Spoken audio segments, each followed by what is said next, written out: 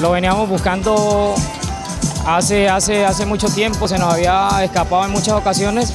pero gracias al trabajo, a la dedicación, a la constancia de las niñas, pues hoy gracias a Dios se nos dio la oportunidad de, de- de- conseguir este título tan importante y frente a un rival muy duro como es el equipo de Mariano.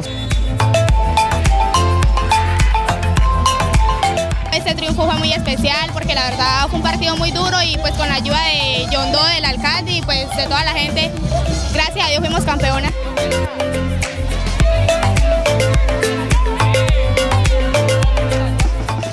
Subimos el ánimo, empatamos, nos fuimos a los penales y gracias a Dios se consiguió el título.